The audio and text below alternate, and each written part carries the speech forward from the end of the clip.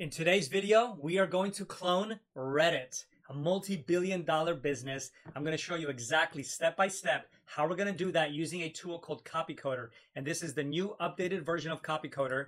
We're going to take some screenshots and we're going to recreate it using Cursor. Cursor is going to be our no-code AI tool. And it's going to be those three things. And we're going to make this from scratch. And in the end, you're going to have a full-blown clone of Reddit which is going to be amazing. And we're going to customize it to fit our own needs. Let's jump into it. Very excited. We're one of the first people to get access to it. It's officially live. You guys can check all the stuff below, but we're going to use it. It's a prompting tool for Cursor. So we're going to do a Cursor Copycoder collaboration. So Copycoder is a prompting tool that makes pretty insane prompts for you to put into Cursor, and it's going to make things so freaking easy. If you guys haven't watched my other videos, check out my other collabs with Copycoder and Cursor. It's nuts. So check this out. Landing page or web app. So of course we want to build a web app. And so this, this is not just going to be some glorified front end. This is actually going to be a full blown application when it's all said and done. Let's just jump right into it. I'm going to show you exactly step by step how to do this and how to build out a full stack application from start to finish. So first things first is we're going to take a picture.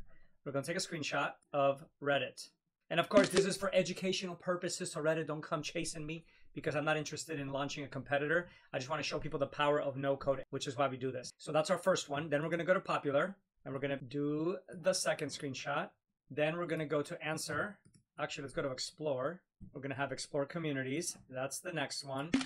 And then let's go to maybe create a post and that'll be our last page. So let me, first things first, let's take our initial image, which is here. So that's four pages. Next, what we're going to do is go to Copycoders and we're going to drag that into Copycoder. What you're going to see Copycoder is going to do is it's going to analyze this design and then it's going to use artificial intelligence to actually pick out all the different pages that we want to build. So in the old version, it would just basically give you some kind of prompt that you're going to import, but it's not going to break it down. But look at this. Here it's going to say, do you want the home page? Do you want the, here's all the pages. So then it's going to ask you to upload all these pages. Look at that. So we have our home page. So we're going to click, which we got, and we're going to do all the individual pages. So here's our home page. So we can actually delete it because the main page is the home page. Actually, that's probably better. So let's close that. Then we're going to go to popular. We're going to upload the popular page. There it is. Then we're going to go to answers. Let me make sure that we don't want the answers one. Answers beta. Ask a question. Now we don't need that. So we're going to delete that one. So you can basically customize and actually give the tool, what are the pages that you want to build? So we got popular. Oh, what happened? Did it delete it? Shoot, sorry. So let me add that in there. Popular. Then we're going to go to explore. Here is explore. Yep, I got that one. So let's go to Copycoder and let's upload the explore page. There's explore. And then we have an all page, which we don't care. Then we also have, so let's delete that. Let's delete that. Delete announcements. Delete the queue. So now we have our three pages. Here's that main page and popular. And then also I want to add a page. So this is post. So now you can actually add a page to what you want. And then the post page is going to be our last one. Create a post. So now we have the four pages that we're going to do, and that's it. And then we're going to go generate pages. And just like that, Copycoder is going to create the most advanced prompt that we're going to then just clip and paste to cursor and you're going to see the power of what it can do. It's pretty insane. If you guys have never watched my channel, my name is Marcin AI. I'm a no-code dev and I make all kinds of different projects, SaaS businesses, games, demos. I mean, we do it all. I test all the newest, baddest tools and I make content for you guys. So definitely give a follow, give a like, and of course, join our community, which is all free. It's called the No Code AI Army. We have today let's see 2607 people in here creating collaborating making videos making content building businesses. It's really really fun. So all right so check this out. So now we're done. So now here's what it says. Look at this. Project setup via cli full project files and setup command. So all we got to do is copy this right here and then we're going to go to cursor. We're going to open our project. We have a project called reddit on our desktop which is just a blank folder. And here is the power. Make sure your agent is activated up here and all we're going to do is we're going to paste that into console down here, inside that folder. We're going to paste that and we're going to hit enter. And that's it. It's that simple. Now what it's going to do is it's going to create all these files. Look at this. So now we have a setup file. We have a setup authentication to build in backend authentication. And we have page one, page two, page three, and page four. And now to get this started is make sure you are in uh, 3.7 Sonnet So we're to go to that one. And then all we got to do is run at setup. And that is it. Voila. You just watch the whole thing. From CopyCoder, we imported the four images of Reddit, and that's basically it. Now it's to go step by step and start building out all of these different pieces for the project. Let me go here and let's take a look at cursor. If you guys have never watched No Code do its thing, it's absolutely amazing. It's going to build all the dependencies. It's going to build out everything that it needs in order to do this. And your only job is going to be approving and saying yes. And once we have something built, then we're going to customize it. That's kind of the process. And we're going to do this for the individual pages. CopyCoder makes this process so easy because before you had to know how to prompt, you had to know how to talk to cursor, you had to know how to do all those things. Now they've literally gotten rid of all of that because it gives you every single thing that you need in order to actually get these projects built and it automates it. Plus you have some really good templates here to start with. So look at this. You got trading platform, you got a developer tools directory. So this is a full site right here that you can literally just import and start. Look at this sales backend operations. It's pretty advanced. I've been a big fan. I've been rocking with these guys since day one, and um, their stuff is really good. Here's a SaaS template that you could literally plug and play into Cursor. Look at that. So if you have a SaaS business, so I, am a big fan. I really do like their stuff. I think they've done a great job, and I'm happy to uh, show you guys because I do like tools that make your no-code process easier. I'm a big fan of that. All right, here's version one of our new clone of Reddit called Musy. Let's open it up, and here it is. Oh, this is so sick. Look at this. It's got dark mode. It's got the feed. Let's go to explore. Look at that.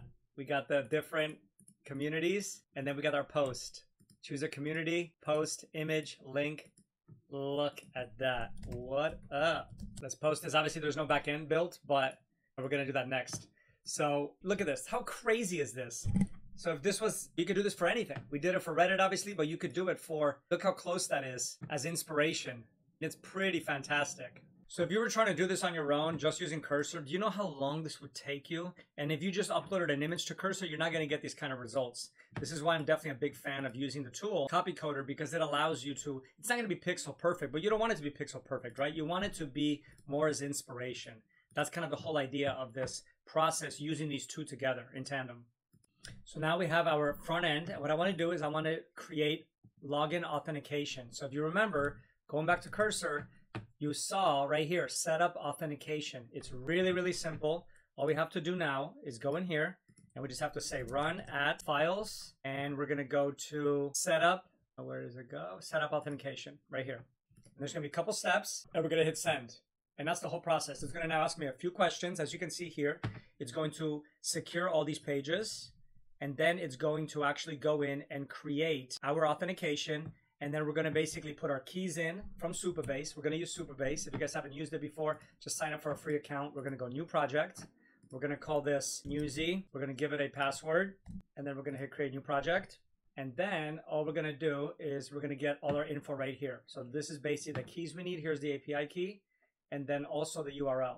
All right, so let's go back to cursor. So accept all. And the cursors, since it's gotten all the directions, it's going to build everything correctly because everything is already prompted correctly using CopyCoder. And that's what I'm trying to get you guys to understand is this eliminates so many issues.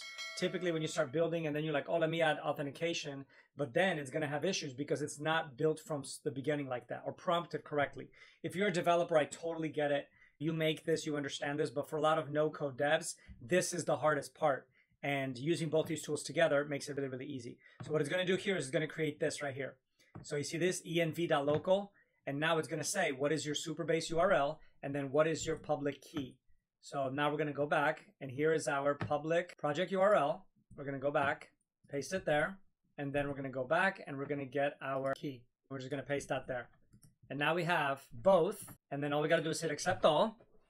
It's going to finish everything, make sure everything is working, and then I'm going to show you next time we go in to the site, it's going to actually have our login authentication. Pretty insane, super easy to do. Literally took two small steps, activating the setup authentication file and then adding your Supabase URL and then your Supabase key. And that's it. It's probably the easiest setup for any of these no-code tools. And you can see it's going step by step. So now it's creating the reset password page. So for signups to work, it's going to have to have your login, your sign up, your reset password, um, lost my password, whatever it is, whatever the standards are, it's going to create that based off of everything in Supabase. All right, next, let's check it out. So we're going to go to sign up. You can see it created a sign up page as we wanted it to. We're going to do test, and then we're going to hit sign up and see if it worked. What did it say here? Can't read. Maybe it sent an email. That's what I'm assuming this says. I have to definitely uh, put that as an error. Yep, I just got on. Confirm your email. And now we're going to sign in with our credentials. And I bet you if we go into authentication, we're going to hit refresh and voila. All right, so there you go, guys. So now that's authentication. And you would do the same for every other step moving forward. You would do the same for storage. You would do the same for database. You would do the same for real-time database. And this is basically the project and how you would build out every single step of this. Super easy. Now let's go in. Let me just log in really quick just so you guys could see that it works. Hit sign in. And just like that, we have our logins here. Check this out. So now we can sign out and then we can sign back in with our login authentication. I feel like this is definitely the easiest way to do this and it just works. Next, I'm going to show you how to actually set up this database because this is something that everybody keeps asking. So all you got to do is you got to ask Cursor, hey, help me set up the database for Supabase. It's going to give you a code right here, and you're just going to copy this right here. Copy that. You're going to go back to Supabase. You're going to go to SQL Editor, and then you're going to just paste that here. That's it. And you're going to hit run. Then you're going to get back this, which is a post and comment manager and then you're going to go back to cursor and you're going to say, hey, I put it in, accepted it, and then now it's going to do all the work, and then you're going to be able to go in and have posting ability on your website. It's really that simple. Once you understand the principles and how things are actually built, it all just works. You just have to learn it the first time. This is the hardest process is just getting it the first time. Once you have it, super easy. And uh, that's the beauty of all this stuff. So let's take a look. I'm going to wait for this to finish.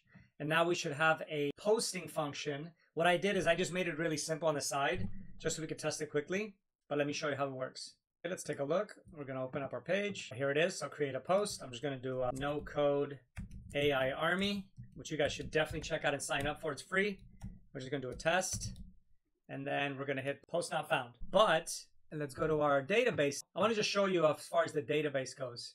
We're going to go here and we're going to go to our table editor and go to post and there it is. Look at that. No code AI army. So that's how it works. So right now I'm going to obviously debug it and make sure that it's posting correctly. But again, for speed, I'm not trying to show you a full blown product here. I'm trying to get your mind to understand how quickly you can build stuff. And as you can see, it's all connected. Now you just got to finalize it. And once you get the look of it then I'm sorry, once you get it working, then you can worry about the look of it, right? I want to now put this functionality over here. When I when I click this button or when I go to this post button here, let me be able to add images, text, and links, and, and so on. So I hope you guys enjoyed that. Go check out Copycoder version 2. Super pumped to share this because it really does simplify the process where you can really build super advanced style pages like this Reddit clone we just did. And of course, buy me a late night cup of coffee which I'm always grateful for. So hope to guys see you in our group, the No Code AI Army. Until next time, hit the links and I'll see you in the next video. Peace.